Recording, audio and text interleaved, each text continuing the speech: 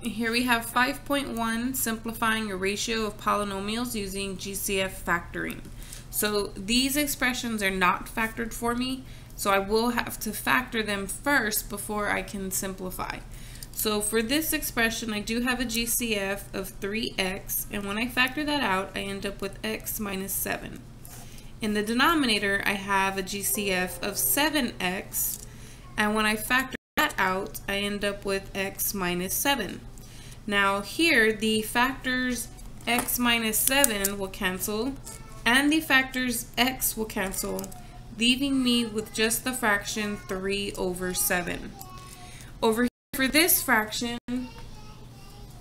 I can cancel out a GCF of 2y, leaving me with 2y minus 5. And in the denominator, I can cancel out a factor of 2y, leaving me with y minus 6. Now here, the 2's will reduce or cancel, and the y's will reduce or cancel.